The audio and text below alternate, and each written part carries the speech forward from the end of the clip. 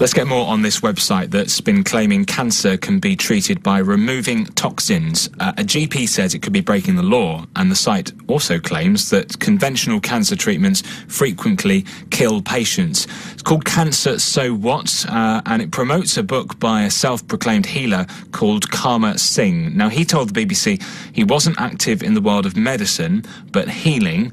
Another of his companies, which is based in Glastonbury, has just been rapped over the knuckles for misleading adverts. Our reporter, Dickon Hooper, has been looking into this. Hi, Ben. Well, the website is called Cancer So What. It's run by a man called Karma Singh. He describes himself as a healer. Now, on that site, he says conventional cancer treatments do nothing helpful and that cancer is the body's way of removing toxins. I spoke to Mr. Singh on Skype about this.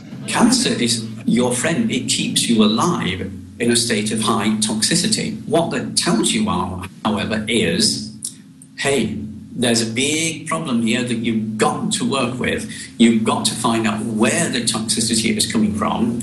And nowadays, it's usually the nutrition. You've got to work out why your normal detoxification systems aren't working properly, and you've got to correct them. Now, his book on how to do this costs just under £20, and you write the cheque to one of Mr. Singh's Glastonbury based companies. Okay, so the obvious question here is what's wrong with this? What's wrong with what he's doing? Well, I asked uh, GP Dr. Charles Shepherd that very question. I asked him to have a look at the site.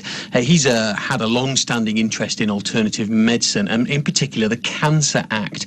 Now, there are actually, uh, by law, restrictions on who can advertise treatment and advice on cancer and this is Dr. Shepherd's view uh, of Mr. Singh's site. My feeling is that this, this is a contravention of the Cancer Act, what he is doing. He is clearly, besides producing a lot of inaccurate and misleading information about the cause and nature of cancer.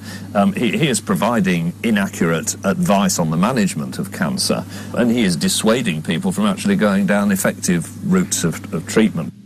Now, I've put these concerns about the legislation to Karma Singh several times, and this is what he told me. If you look at it in the medical sense, now, medicine attacks the cancer, it attacks the solution, it doesn't deal with the problem. We look at what's the real problem, how do we resolve the real problem. The problem isn't the cancer, the problem is what has caused your body to react by producing a cancer. It's a completely different world. We're not in the world of medicine, we're in the world of healing. And you know, Dick, and anyone that knows Glastonbury, you know, whether you're in Somerset or not, really, will know that that, that is a, a well-known world. That that's that's part of the town. That sort of uh, that sort of view and that sort of sort of life, and that's obviously where where his companies are based. That's absolutely right. I mean, I first became interested in this story because of Harmony United. That's another of Mr. Singh's companies that, as you say, is based in Glastonbury. Now, on the site there, Harmony's site, it says it can help harmonise the world's energy systems, but it's been recently rapped over over the knuckles by the Advertising Standards Authority for making misleading claims in its adverts about what its products can do for your health, and crucially, not having the evidence to back these claims up. Now, those adverts were referred to the authorities by the Nightingale Collaboration. That's a small pressure group which campaigns on this type of issue. Uh, and I spoke to their director, Alan Henness, uh, about what was wrong uh, with Harmony United's adverts. If you're making claims, then you should expect to be able to justify those claims you're making to the public. The harms, you know, obviously with, with health, then I think it's particularly important that people are basing healthcare decisions on what they're being told in adverts. Well, Karma Singh disagreed when I put that to him. He said Harmony's products help the body work better, uh, but he can't advertise that unless he shows the Advertising Standards Authority some proof, Ben. There's our reporter, Dickon Hooper, and uh, you can see more on this in uh, Dickon's report, which is on Points West tonight. That's on BBC One at half past six.